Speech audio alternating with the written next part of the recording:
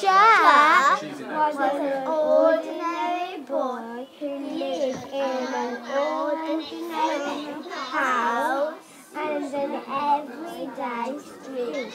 However, there was something special about Jack. He loved reading. He would sit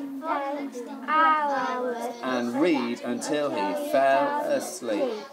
The more he read, the more he would think of faraway places. stop. One afternoon, Jack sat, sat through the pages of an old history book, and in the book he saw a picture of a Roman ship sailing on a real sea.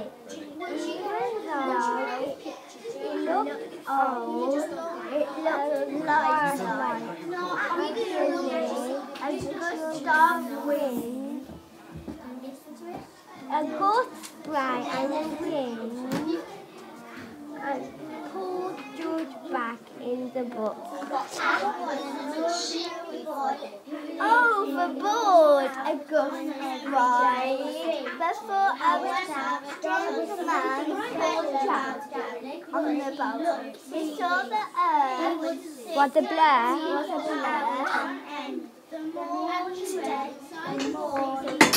and poor Jack, felt sick and weak and weak.